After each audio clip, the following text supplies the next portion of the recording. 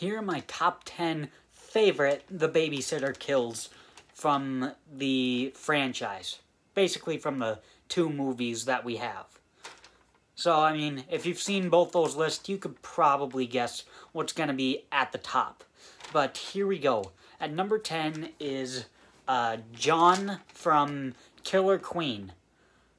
Uh, he gets, uh, he cuts a cable and horns come, come and get impaled in his head. It's bloody. Uh, it's pretty unique. Uh, that's, that's a pretty cool kill. Number nine is Allison from The Babysitter Killer Queen. Uh, she gets stuck in a cliff. Uh, Cole and Phoebe um, try and get her down. They rip her body from her head. Her body just falls to the ground, and a rock crushes it. Uh, it's pretty bloody. I I kind of like that kill, and it's um, uh, it is a decapitation, but it's different because instead of just getting it cut off, it's it's pulled from the body. So that's pretty cool.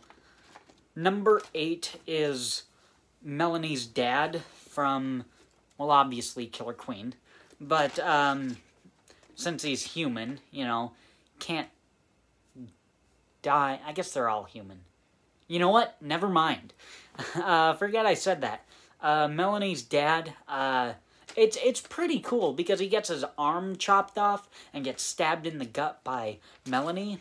That was that was pretty cool. It's kind of played for laughs, but it is gory, so th so that's that's kind of cool. If it was played a little more seriously, it might have hiked up one or two spots, but it's still a pretty cool kill.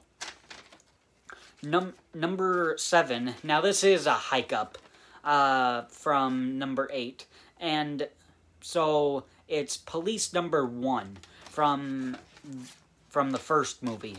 Uh, he gets his throat slit, and it is just gory and just so brutal and awesome. So that's that's pretty cool. Uh, number six is the first kill, the OG kill of the Babysitter franchise, and it is Sacrifice Samuel.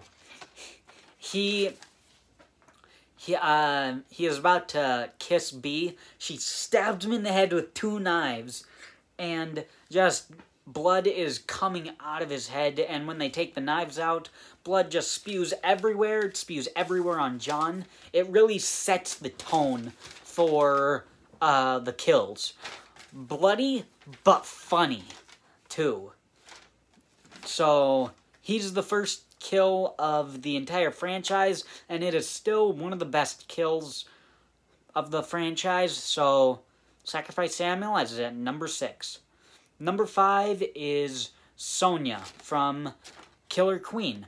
She gets decapitated by a surfboard. Um, the weapon is pretty unique, using a surfboard, and it's decently gory, so that's cool. So now, another uh, jump up uh, quality hike in kills, and that is number four is Boom Boom, the first kill of the second movie. She gets a hook in the throat and just throat slit with a hook. It's gory, blood is spewing everywhere. Again, it also uh, that is also like the kind of patriarch of what the kills are in the franchise. Uh, kind of, I guess. I guess it's like gory and funny, but this one has one of them. It's gory, so that's cool. Uh, number three is John from number one, from the first babysitter. He falls, falls onto a table, falls onto a sharp trophy, goes through his neck, in the side and comes out the other end. So that is gnarly. That is that is so sick and awesome at the same time. So, yeah. That's it. Uh, number two is Allison from the first movie. She is about to kill Cole, and then her head just gets blown up by a shotgun by Bee. Bee shoots the shotgun, Allison's head just blows up like a bomb. And it is gory. It is awesome. Gore, blood just goes all over Cole's face. It is awesome. But my number one favorite, the babysitter kill, is police number two from the first movie. He gets a fire poker into into his eye by Max. He comes over, wiggles it around, and then just crushes his skull. Or not crush it, like he severs it. I don't know. He just rams that fire poker up, and it is gnarly and so awesome. So that is my favorite, the babysitter.